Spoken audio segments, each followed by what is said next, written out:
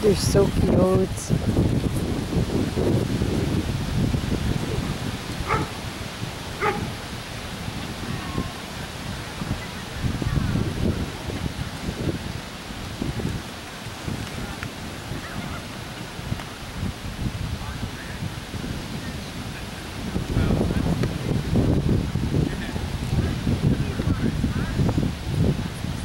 Gosh, all those cute little Sharpei.